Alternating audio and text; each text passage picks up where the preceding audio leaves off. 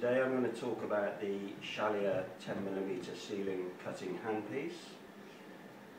The handpiece uh, functions are as follows. The jaws are tightened and clamped around the tissue by depressing the handle like this. You can see the jaws are now closed. To release the jaws, with your thumb, if you press the button here, they release like that. And to advance the cutting blade, you pull the trigger like that. So in, in surgery, you will be clamping the tissue and cutting like that. We'll now cover taking the instrument apart for cleaning, sterilisation and changing the blade. To take the instrument apart, you undo this cap, take the cap off and put to one side. This will allow you to remove the insert like that. On the back of the inner tubing is a screw which you need to undo. Again, put that to one side. Undo the sleeve, the outer sleeve, by unscrewing.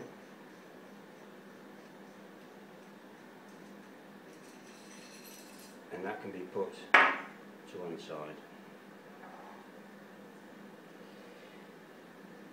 Then you'll find there are some inner tubings with a spring. Next we need to undo this sleeve here. This is a bit more fiddly. Undo this sleeve like this. Once it's undone, you will need to push the spring down and you will see a groove that holds the blade. The blade is now released and the inner tubing can be removed like this. We want to remove the blade for changing so we need a pair of artery forceps or something similar to remove it. And by grabbing the tip of the blade, the blade can be removed like that. For sterilisation, you now have separate parts which can be put through your autoclave. Put the screw back onto this sleeve before autoclaving. So there are all the parts separate for autoclaving. Now we will cover the reassembly of the instrument.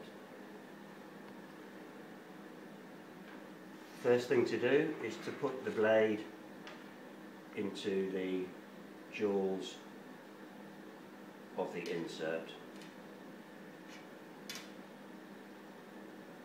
Like this.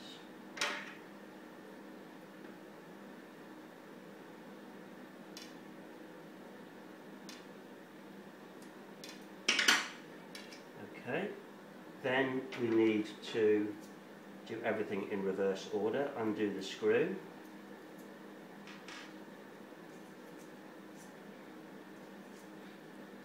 And we will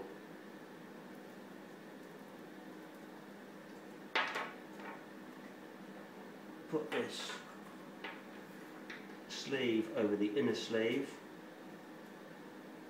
We need to depress onto the spring to find the groove to engage the blade into that groove. Then release that sleeve so that that sleeve can then be tightened onto the jaw section.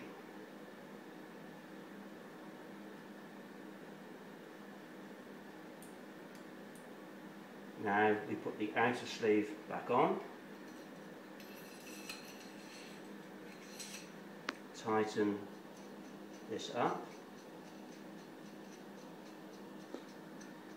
And the last thing to do with the insert is to put the screw back on.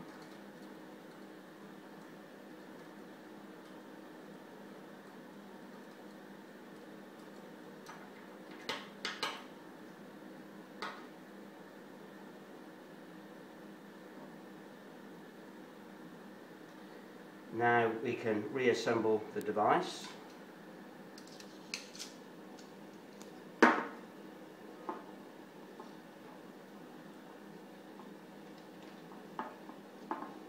and screw the cap back on.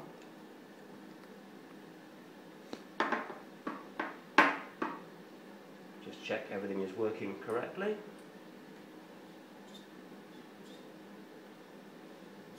Yes, everything is fine and you are ready for surgery.